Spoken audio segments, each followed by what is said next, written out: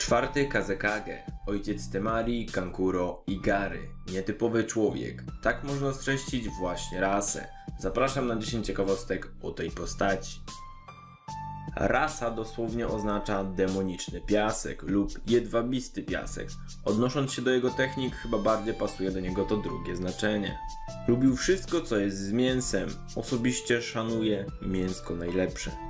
W czwartym databooku rasa jest wymieniona jako jeden z użytkowników Hidden, czyli sekretnych technik takich jak przykład manipulacja cieniami przez klan Nara, jednakże nie znamy żadnej z takich technik u rasy. W grach jego techniki są nazywane identycznie jak techniki Gary. Jego geny są wysoko cenione w Sunie. Gdy Temari wyszła za Shikamaru, Rada Suny zażądała, aby Gara i Kankuro założyli rodziny, ponieważ obawiali się utraty bezpośredniej linii krwi. Dzięki jego technice wioska piasku utrzymywała się z wykonywania zadań i handlu złotym pyłem. Pochodził z klanu Kazekage, co jest dziwne, ponieważ nazywa się identycznie jak funkcja, którą pełnił.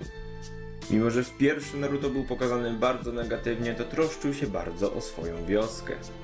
Potrafił powstrzymać całkowicie uformowanego Shukaku, ponieważ złoto jest cięższe od piasku.